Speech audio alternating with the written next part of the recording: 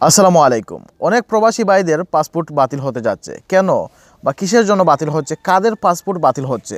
এ বিষয়ে আমরা আজকের এই ভিডিওটি যদি দেখেন তাহলে ক্লিয়ার হয়ে যাবেন। এবং এই বিষয়ে প্রবাস মন্ত্রী তিনি এই বিষয়ে কথা বলেছেন, মুখ খুলেছেন যে কেন বা কাদের পাসপোর্ট বাতিল করা হবে। আমরা পুরোপুরি ভিডিওটি দেখব। আর তিনি আরও কিছু কথা বলেছেন যে প্রবাসীরা মধ্যপ্রাচ্যে সমাবেশ করেন রাজনৈতিকভাবে, এগুলো কিন্তু মধ্যপ্রাচ্যে, এগুলো কিন্তু নিষিদ্ধ। তো সেই কারণে এই যদি মধ্যপ্রাচ্যের পুলিশ যদি ধরে, তাহলে এমবেসি থেকেও তারা কোনো ধরনের হেল্প পাবে না বা এমবেসিও চালিয়ে নিয়ে আসতে পারবে না, তাদের বাংলাদেশে প্রেরণ করে দেওয়া হবে। তো এরকম কিছু কথা বলেছেন প্রবাসীদের উদ্দেশ্যে। আর তো চলুন বন্ধুরা, এই মুহূর্তে আমরা শুনে আসি প্রবাস কল্যাণ মন্ত্রীর কাছ থেকে, কাদের পাসপোর্ট বাতিল করা হচ্ছে এবং কেন বাতিল করা হবে?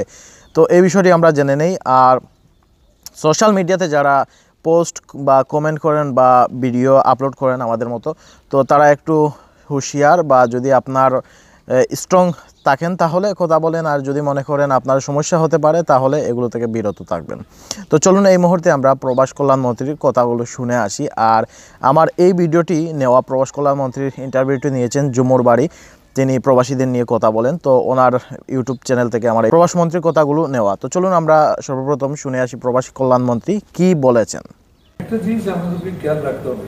আমরা এই মন্ত্রণাতে যত প্রবাসে আমাদের কর্মী ভাইরা আছেন আমরা কিন্তু প্রত্যেককে কিন্তু একটা বাংলাদেশের অ্যাম্বাসেডর হিসাবে কিন্তু চিহ্নিত করি।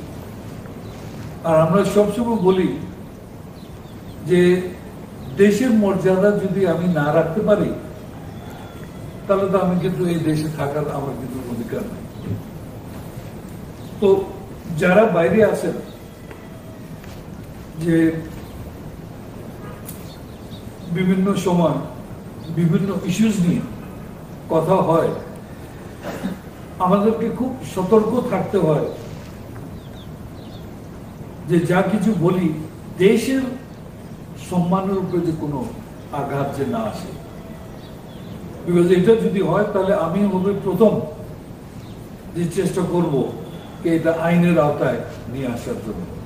এটা কিন্তু আমরা সবাই যারা এই দেশে বিশ্বাস করি, আমরা কিন্তু সেই হিসাবে থাকতে চাই এবং আমি চাই যে আপনারা যারা প্রবাসী আছে অনেক সময় আমাদের প্রবাসী কর্মীদেরকে ব্যবহৃত করা হয়। না জেনে, না বুঝে কোনো প্রোগ্রামে গেলেন। আমি যত জানি মধ্যপ্রাচ্যের ম্যাক্সিমাম জায়গায় কিন্তু কোনো সমাবেশ, রাজনৈতিক সমাবেশ করার কিন্তু কোনো আইন নাই। কেউ ধরা খেলে আমাদের এমবেসিও কিন্তু ওদেরকে ছাড়তে পারবে না। সেই জন্য যে দেশে আপনারা বর্তমানে আছেন, সেই দেশের আইন, আর সবচেয়ে বড় কথা হলো, আপনাদের নিজের দেশের আইন, সম্মান মর্যাদা আপনারা ধরে রেখেই আপনাদের কার্যকলাপ করবেন। না পাসপোর্টের ব্যাপারে যেটা বাতিলের প্রশ্ন যেটা আছে আমাদেরকে মনে রাখতে হবে সরকার সবসময় বাতিল করার অধিকার রাখে। বাট অধিকারও কিন্তু একটা আইনের মধ্যে পড়ে।